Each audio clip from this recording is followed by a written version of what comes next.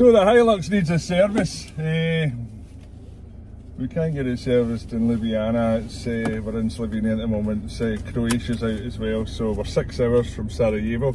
So we're going to phone them. We phoned them. They gave us a number. Phone this number, and then I got through again, and it was basically, yeah, bring the car Friday.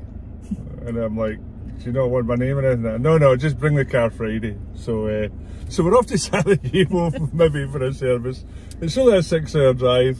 No, but like, who are you? So, happy days. Let's get it done.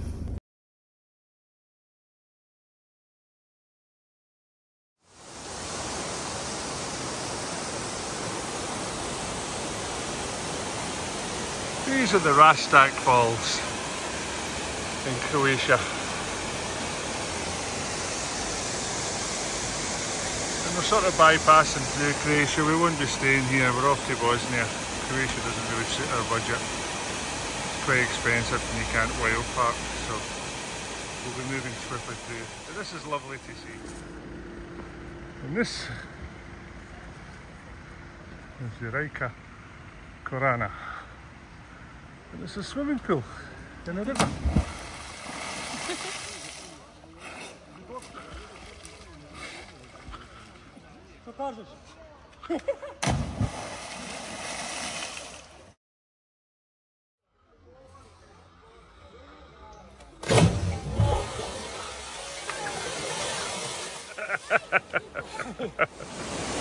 Water, water everywhere. A little sneak peek of what's over there.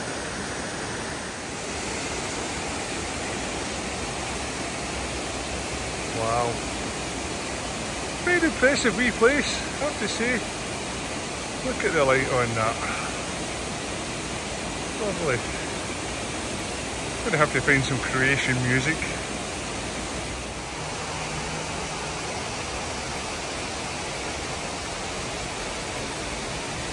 Stunning.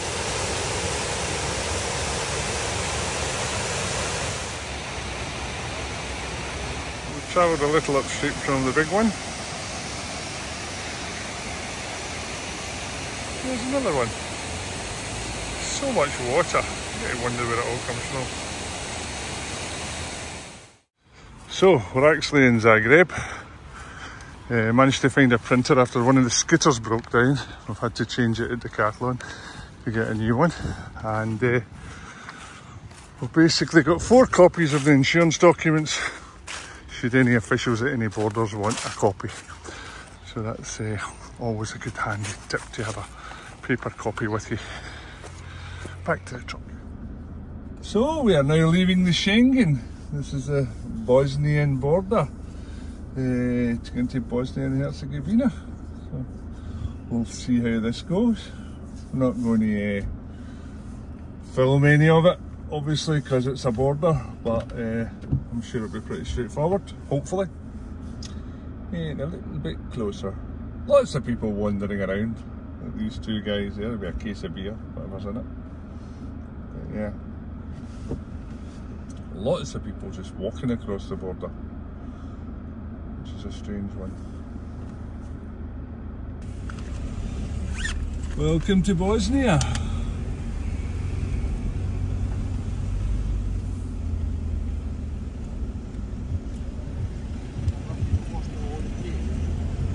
Straight into a little town by the looks of it. Uh, I think we're going to have to find our SIM cards somewhere.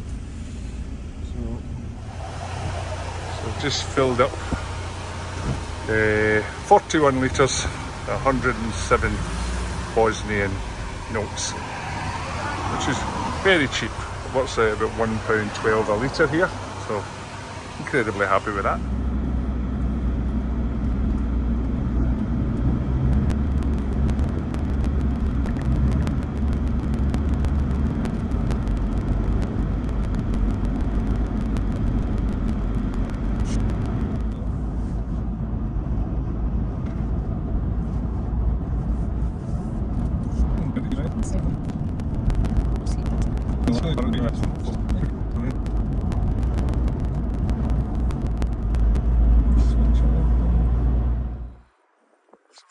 The side of the road for a little break. give you an idea of the landscape uh, in Bosnia. Very like Croatia and Slovenia in the trees. This is the first real area we've come into that's planed, uh, sort of like trees have been cleared. So the old shepherd with his flock. But yeah, the sun is shining. It could be worse. So this is us entering Sarajevo. We're on our way to Toyota to get a service. Uh, obviously everyone's heard lots about this place. You know, it's a recent war. Sarajevo was under siege for a couple of years. So it's going to be an interesting place to explore.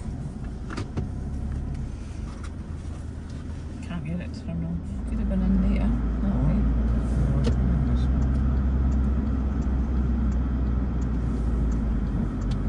Plenty of them down there as well.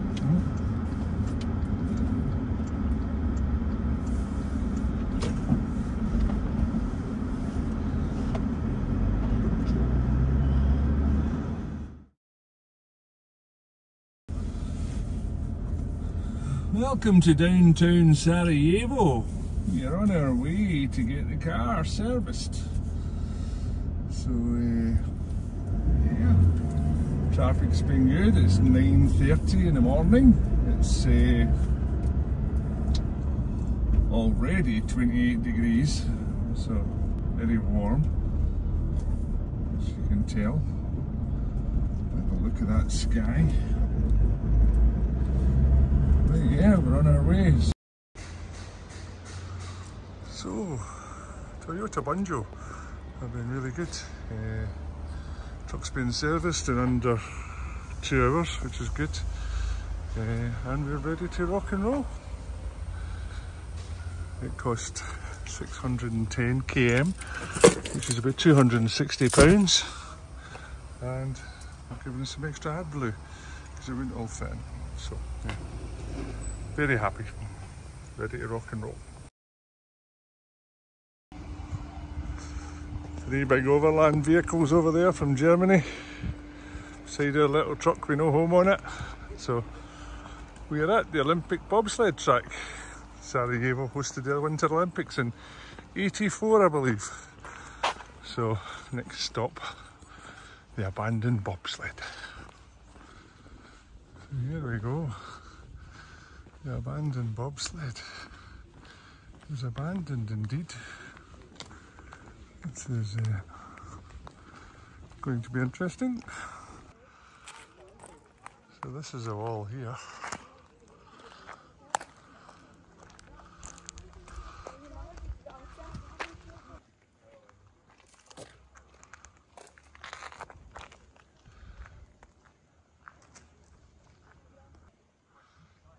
This is the start of the luge, which is a different run altogether. So you get the bobsled and the luge running together. I'll have to check this out.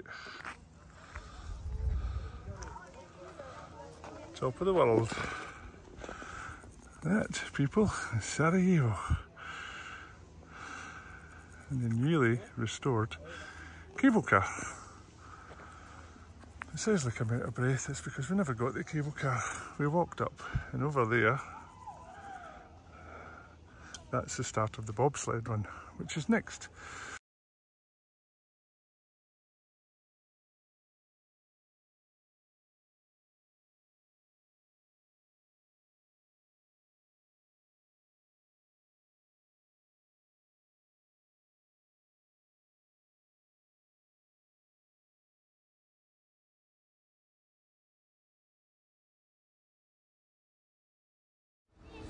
So this is the Tunnel of Hope, and uh, yeah, they are real bullet holes. This whole place was levelled during the war. Nice to see it all been built up.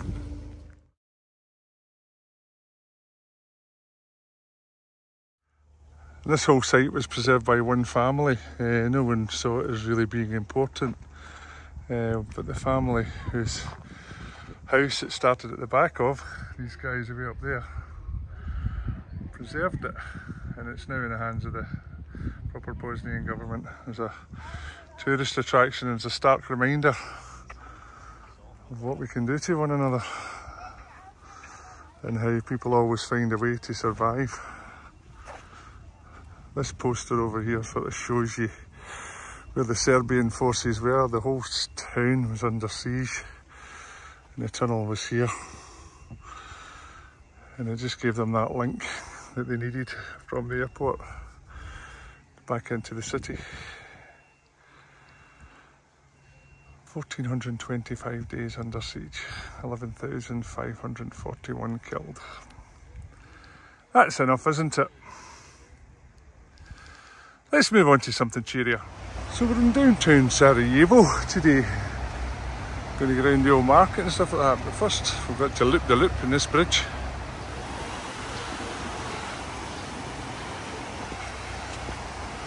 Very funky little bridge. I like it.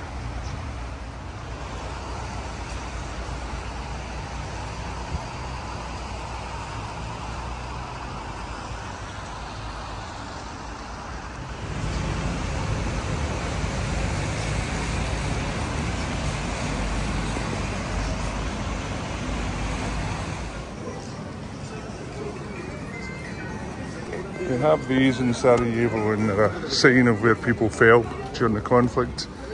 Uh, and they're all throughout the city.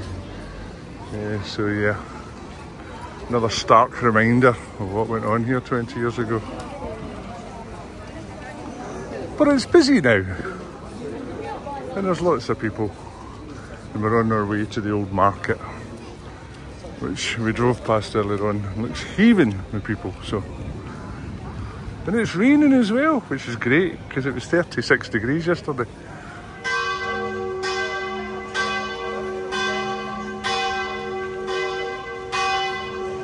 It's midday.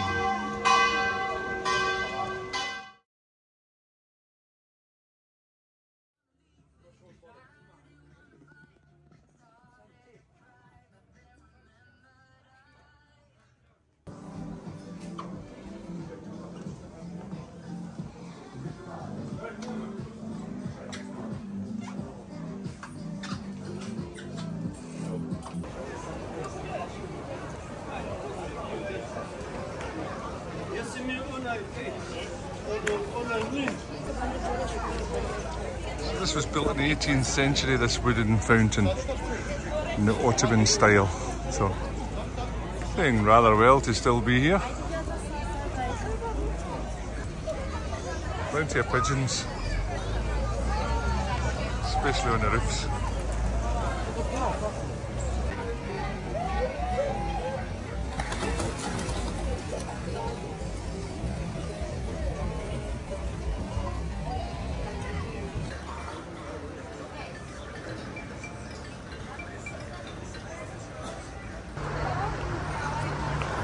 It was on this spot, the 28th of June 1914.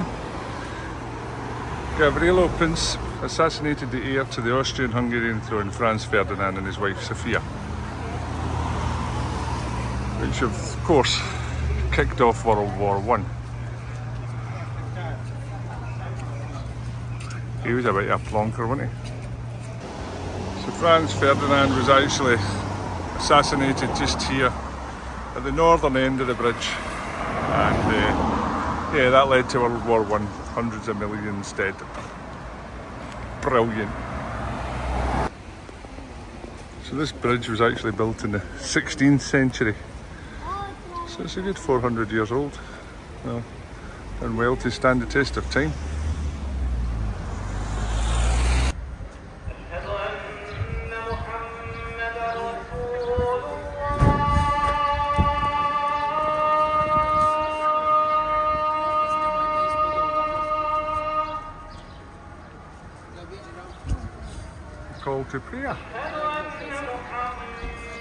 Quite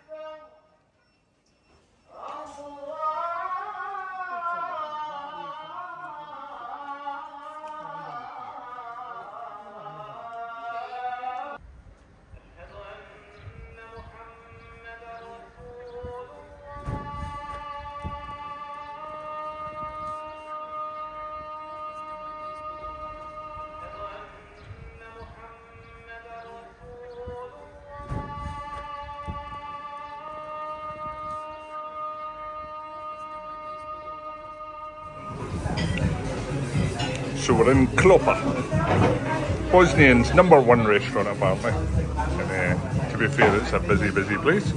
Let's see where the food turned up. We had a wee bit of rubbish at sort of filming our food. But there you go. This is awesome. But we dug in right away because it looked fantastic. And I can assume no dogs with guns.